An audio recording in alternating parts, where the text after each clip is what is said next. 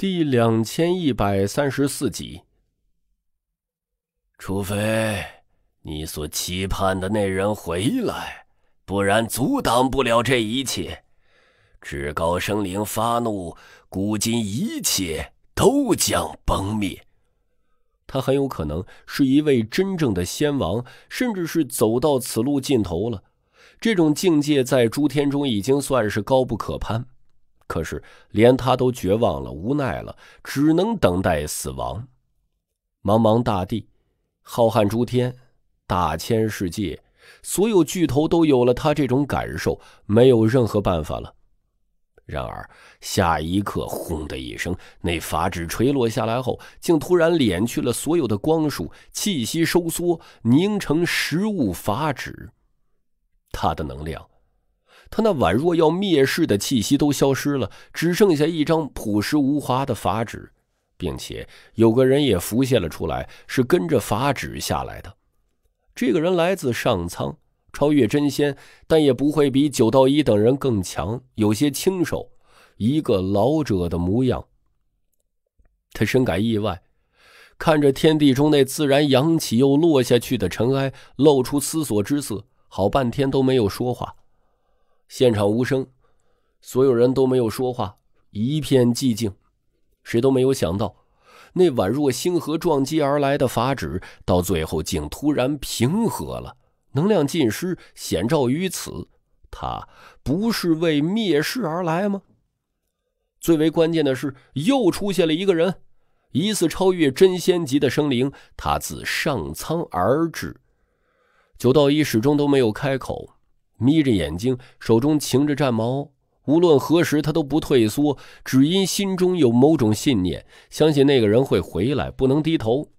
除了他之外，还有狗皇与腐尸，他们接触的都是什么人？三天地自然不会折腰俯首，气场很强。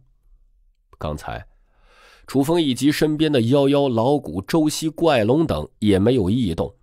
不曾被法旨激荡时所弥漫出的浩瀚神威压倒在地上，一切只因石冠在无形中抵消了。在众人看来，他们是得到了九道一的庇护。各位，不要紧张，我没有恶意。来自上苍的青瘦老者平淡的开口，看着众人。此时。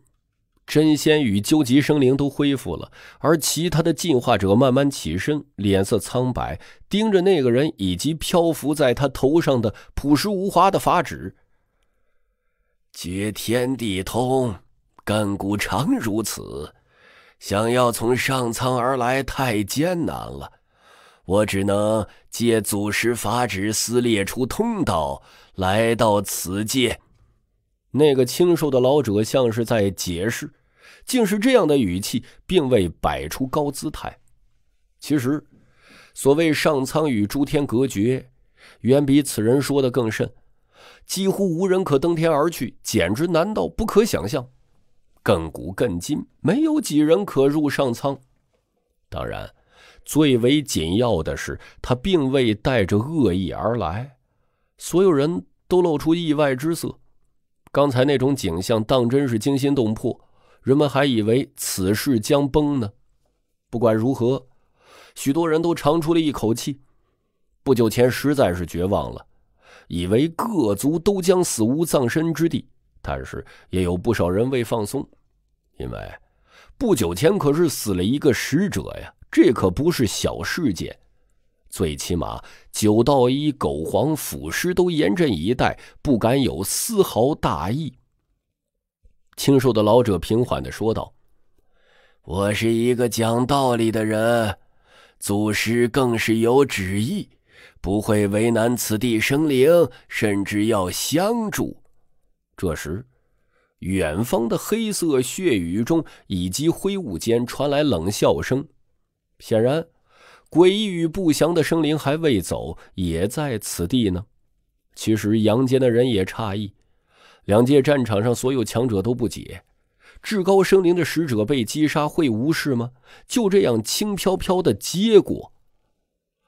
祖师与这方世界有些缘分，欠了一份人情，所以多少要庇护上一些，让你等大一统争一线生机。清瘦的老者开口娓娓道来，竟说出这样一番话：当年他亲眼目睹从这方天地走出去的那位至高生灵死去，可惜无力救助。就这么一句话，惊起无边风浪。诸天间无数种族的化世人，所有的究极生物，莫不心惊胆颤。九道一的心更是一阵巨震，要窜出胸膛了，脸色直接就变得苍白，整个人都不能平静了。至高死去是谁呀？此时大千世界各方宇宙中都响起了惊雷声，像是在转告这则惊世的消息，引发无边异象。一位至高莫测的生灵死去了，源自这方天地，陨落他乡。这简直石破天惊，震撼了所有种族。九道一想开口发问，但是没找到机会。清瘦的老者没有继续谈这个话题，而是一抖手，自那法旨中借来一道光，席卷前方的虚空。平地起惊雷，混沌光四溅。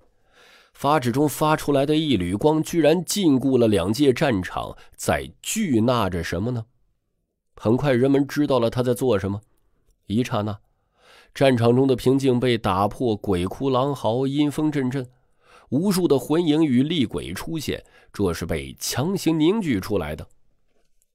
与此同时，一条古老而怪异的黑色道路浮现，那是通向九幽路的，是那诡异与不祥的古地府轮回路。那里阴风怒嚎，魂影绰绰，太瘆人了。这不是九道一等人立足的轮回路，而是真正的古地府路旧路，通向不祥之地，承载着无边的诡异。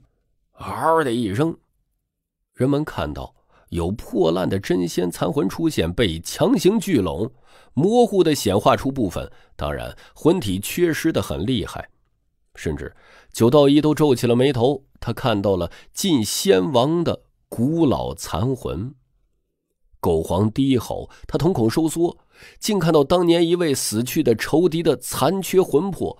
本应逝去一两个纪元的仙王级怪物，可是居然留下了部分魂影，当真令他一惊。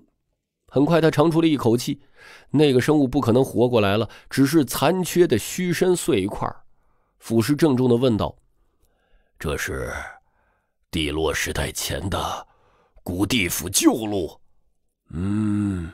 旧路，漫长而无序的路，连着诸世，甚至有密路通向上苍，算是绝天地通后的捷径。这样的话语让所有人发呆。地落前的古地府旧路，居然连着上苍，能借此上去。要知道，世间生灵要进上苍，简直不可能。除非跨越过那道阶梯，成为至高生灵，才有能力上去。现在居然有一条古路直接连着那里，不用想了，这条路进去的话会有死无生，就是当下古地府中的怪物都不敢走，也不能走捷径，没那资格。这似乎蕴含着一些涉世的信息。这古地府旧路很神秘，也很可怕，存世漫长光阴，很有可能比现在盘踞在那里的诡异怪物都要古老很多。这是一条不祥的路，或许可以称之为死路。楚风想到了曾经看到的一幅画面，那时石罐曾发光，映照出无边山河地貌，古地府旧路浮现，竟在吞食地者。这旧路连着诸事，甚至连着上苍。突然，许多人惊愕，面色呆滞。在那渗人的旧路通道中，有一道身影在快速凝视，巨现出来。人们倒吸冷气。消散的人原本形神俱灭了，都可被召唤再现出来。这简直是打破了大道至理，化不可能为可能。正是之前的使者，不久前被尘埃击散的那个真仙，顷刻间，他就完整的重塑，包括肉身完好的走了出来。